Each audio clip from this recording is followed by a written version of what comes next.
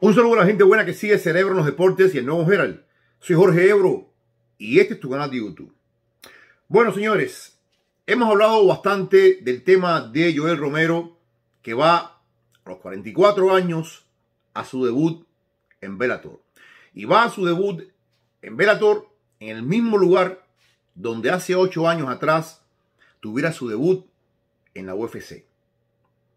Joel Romero, que como siempre digo, es un guerrero de dos siglos. Un hombre que ganó su primera Copa del Mundo en 1998 y que todavía sigue siendo un hombre relevante. Un hombre que arrastra mucho interés y eso no hay ni por qué explicarlo. Pero Joel Romero tiene una meta en mente, una meta muy complicada. Él quiere ser el próximo Bernard Hopkins. ¿Por qué? Joel Romero está convencido de que puede pelear hasta los 50 años. Y hay que recordar que el gran Bernard Hopkins, el, el verdugo de Executioner, peleó hasta los 51 años. Parece mentira que Bernard Hopkins tuvo su última pelea en el 2016. ¿eh? Y nos parece tan lejano, pero ahí está. Hawking peleó hasta los 51 años y hasta los 51 años era un hombre relevante, un hombre capaz de vencer a hombres jóvenes, campeones más eh, lozanos como Jean Pascal o como Shaq Dawson. ¿Podrá hacerlo Joel Romero? Es muy complicado. Muy complicado porque estamos hablando de dos deportes muy distintos. El boxeo, siempre yo les he explicado, es más brutal a la larga que las artes marciales mixtas. Los daños suelen ser más duraderos y más eh, crueles, más perversos, por todo lo que significa golpear repetidamente a la cabeza o a los órganos vitales de la cintura hacia arriba, como el hígado, como los pulmones, pero sobre todo los golpes al cerebro. Un luchador de MMA tiene menos peligro a largo plazo, pero sin duda alguna tiene más problemas a corto plazo. El tema de los derribos, el tema de la lucha en el suelo, el tema de los guantes de 4 onzas nada más, eh, en fin, son muchas cosas que hacen del momento de la pelea del MMA algo más sangriento y más brutal, aunque menos dañino eh, en el largo periodo de tiempo. Joel Romero hoy, hoy está en cierta cuerda floja.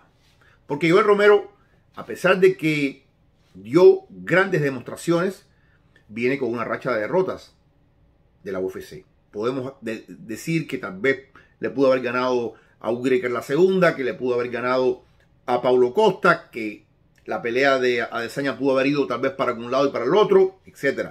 Pero al final son tres derrotas en el récord. Y Joel viene de un problemilla en un nervio en el ojo que le impidió debutar en el Grand Prix de Bellator. Yo sé que su maestro, eh, toda su gente nos dicen que Joel es una maravilla y realmente lo ha sido, lo ha demostrado que es una maravilla en el tiempo. Eh, cuando uno ve toda, todas las décadas, más de dos décadas peleando y peleando a un alto nivel, uno tiene que decir, sí, es una maravilla Joel Romero, pero son 44 años son 44 años. Y de alguna forma, Bernard Hawkins hizo su carrera con un boxeo muy inteligente, un boxeo de dar y moverse, pero no moverse estilo redondeado, estilo Mayweather, moverse muy inteligentemente en el centro del ring, con mucha finta. Es un hombre que desarrolló un boxeo muy técnico y que aplicaba muchas variantes que le permitían ganar contra hombres que eran más grandes, más fuertes, con mayor pegada. Pero Hawking con esa inteligencia, hay que ver la pelea que tuvo contra Trinidad, por ejemplo. La forma en que él boxea es realmente esplendorosa. Hawking logró hacer longeva su carrera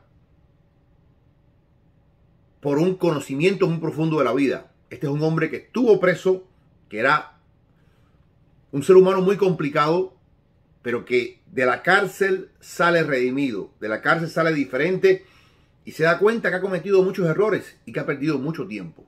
El boxeo es su camino de redención. Joel Romero ha estado peleando desde que era un niño.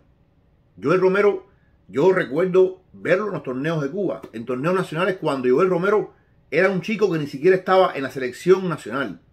Y recuerdo ver a Joel Romero pelear en Copas del Mundo, verlo pelear en los Juegos Olímpicos.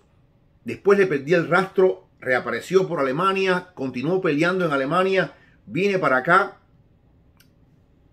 está eh, peleando en Strike Force, después va a la UFC y en su primera pelea eh, contra Rafael Cavalcante, él sufre una lesión que lo puede dejar paralítico.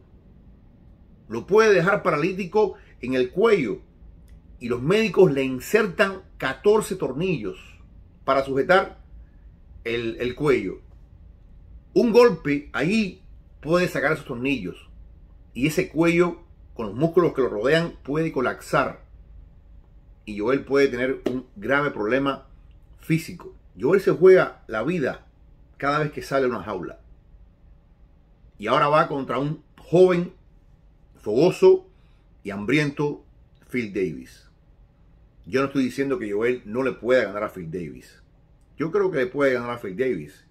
Si hace un plan de pelea correcto, al punto, y sobre todo si logra desplegar sus golpes con una intensidad y una efectividad muy buenas. Pero es complicado contra Phil Davis, que es un gran guerrero y no se le puede negar ningún mérito. Y lo otro, son 44 años.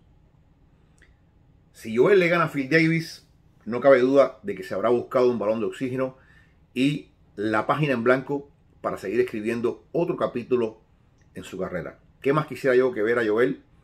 Que tuve la suerte de verlo pelear cuando era un desconocido y que ahora tengo la suerte de escribir sobre él ahora, a los 44 años y después de haber vivido tantas y tantas peleas emocionantes.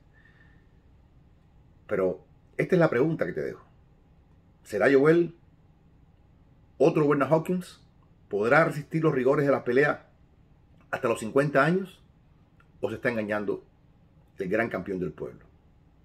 Dame tu opinión aquí, en Cerebro en los Deportes, tu casita de YouTube, donde está lo más grande con lo más grande. Muchas bendiciones y un like. Pase lo que pase, hay que aplaudir al soldado de Dios y el campeón del pueblo. Vamos a ver qué pasa. El sábado estaremos hablando. ¿eh? El sábado no me abandones.